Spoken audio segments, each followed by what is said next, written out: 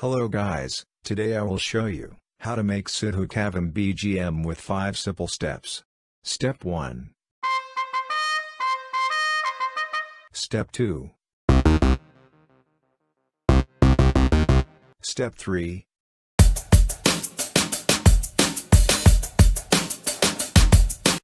Step 4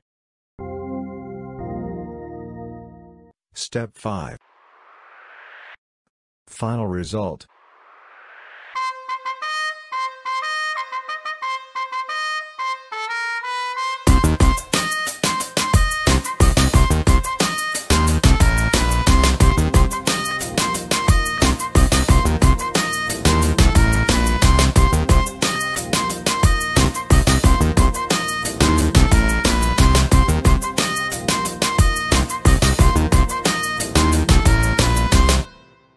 Thanks for watching.